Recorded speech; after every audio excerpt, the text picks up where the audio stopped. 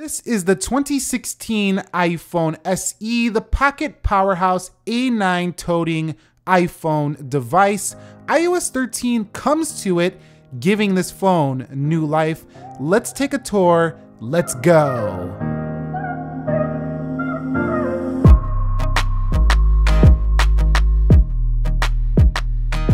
What is up, guys? Nick here, helping you to master your technology, and welcome to my tour of iOS 13 on iPhone SE, confirming the software. iOS 13 is on the device. Now, first thing we're going to take a look at here is Apple iPhone SE's dark mode. This is an LCD display, so you're not gonna have the darkest you're gonna see on any iPhone, but you can access this through a long press in the brightness settings. You can see the whole wallpaper dynamically changes dark when you do turn on this dark mode. Heading into display and brightness, you'll see light and dark modes are available, and you can automatically schedule these from light until sunset or vice versa. Or you can turn it on whenever you do feel like it. So the dark mode also makes applications very dark, like calendar, for example. If we do go into Safari, that also will get dark. And if we go into another application like the news, for example, you'll be able to read some news previews a little bit darker as well.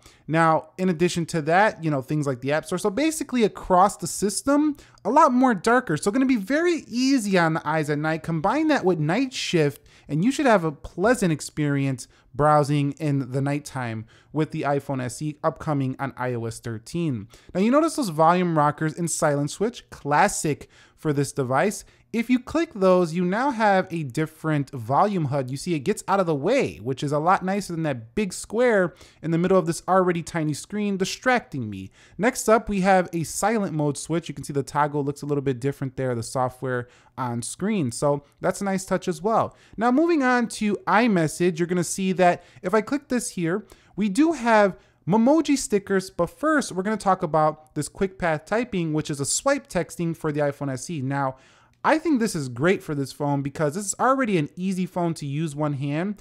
Add in this quick path typing and it's even easier now and more quicker and efficient. So very excited about this for this 4 inch device. I think it's great on bigger phones, but it's also really great on this smaller phone right here. So a lot easier to type with that. Now, Memoji stickers are here. We're getting back to those now. You can see that you also have Animojis here stickers in the messaging app. So you're getting some things that you typically would only see on the $1,000 iPhones, which is a great way uh, to make the SE feel a little bit more modern, I would say. So really do like that we're seeing these features here on the 4-inch A9 device. This is really nice stuff. You'll be able to do those Memoji stickers you've seen Apple perform on stage as well for this phone. So really, I think if you're into this stuff, you're going to be very happy. Now, moving on to the health application, there's not much change here in health besides cycle tracking for the ladies, menstrual cycle tracking. So it's going to be a pretty nice update for you. Now, in terms of the wallpapers, we do have a few, like a green, a blue, a pinkish, like orange color, as well as a black wallpaper.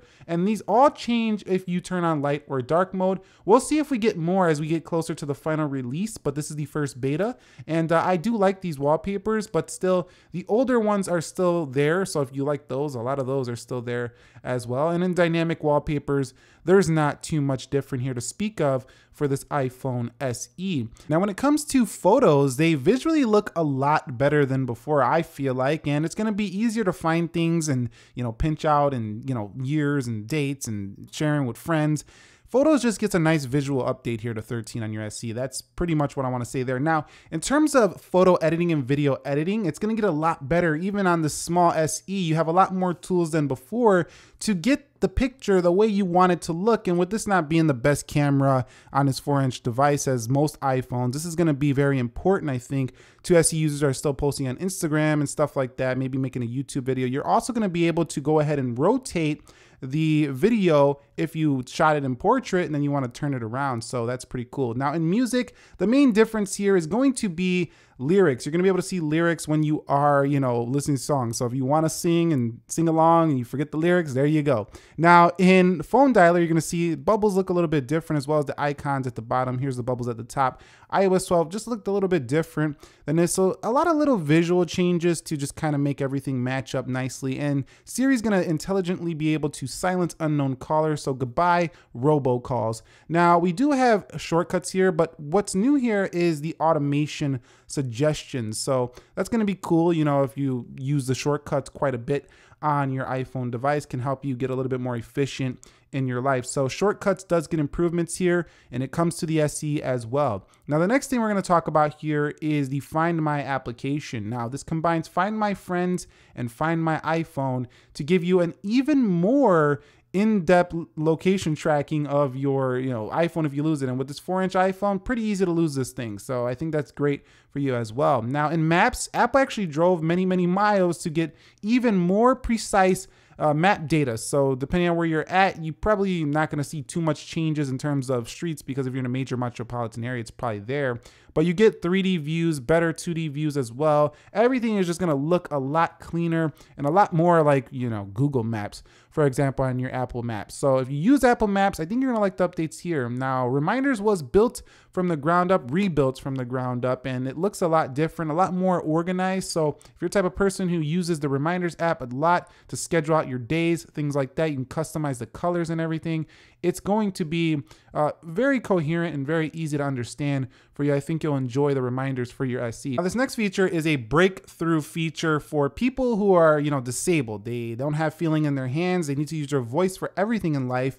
The iPhone is actually usable now uh, just with your voice. In addition, if you're just lazy or you got your fingers dirty from eating or something, or you got your phone at a distance and you needed to do something really quickly, you have this access to voice control. Here's an example of it. Long press clock tap create alarm and you can see it's going to go right in to that alarm. So really, it's a nice feature and I think it's going to be breakthrough for many folks. Now, the iPhone SE also brings 3D touch like shortcuts through a long press. Now, I knew Apple could do this for the longest time, but it's here now. So your SE basically gets what the iPhone 6s had as a selling point before here in iOS 13. So great new feature for those people who wanted to use 3D Touch for the longest. And now you got basically what that offered on your iPhone SE. Great stuff. Now Safari looks visually a little bit different. You can go ahead and change the reader mode right there, hide the toolbar, go up to 300 in scale, but iPad OS is where Safari really gets better with the full desktop browsing.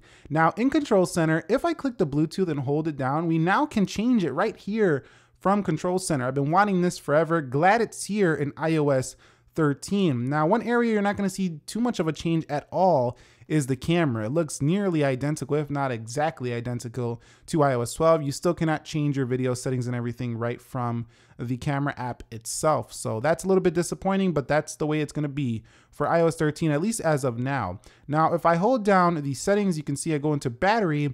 You also have this new thing in the battery health settings called optimize battery charging, which is going to help with keeping that battery at a maximum capacity a little bit longer. So how about performance on the iPhone SE? And the first thing you're gonna notice when you download iOS 13 is that, wow, this feels snappier and slicker than before. A9 is getting a little bit old in the Apple world, but still, this phone performs admirably well on this 13. It actually feels faster than 12, although buggier, it still feels snappier than 12. So Apple is not lying about their two times faster app launches. I'm feeling it already on the SE. So you got stuff to look forward to. Overall, SE is exciting here on 13, bringing features we never even thought we would get, like these quick shortcuts that are kind of like 3D touch. Thumbs up if you guys found this video helpful, entertaining, informing. Let me know your thoughts down below. Nick here helping you to master your technology. Be sure to be well. Thank you very much for watching. Enjoy SE on 13 and peace.